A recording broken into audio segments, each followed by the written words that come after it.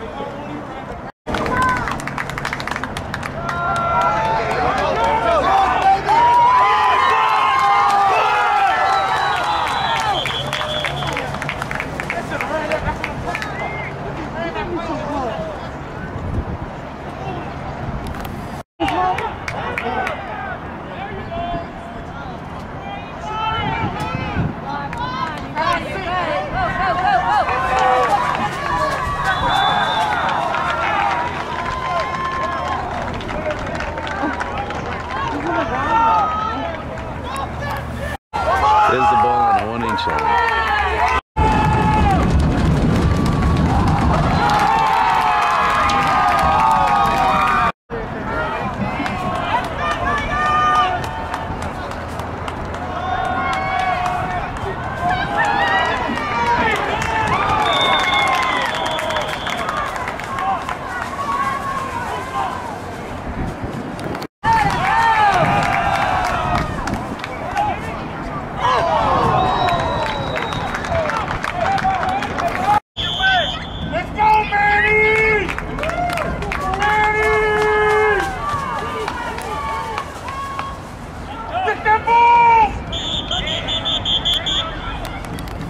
they're getting pretty worn out, I can tell.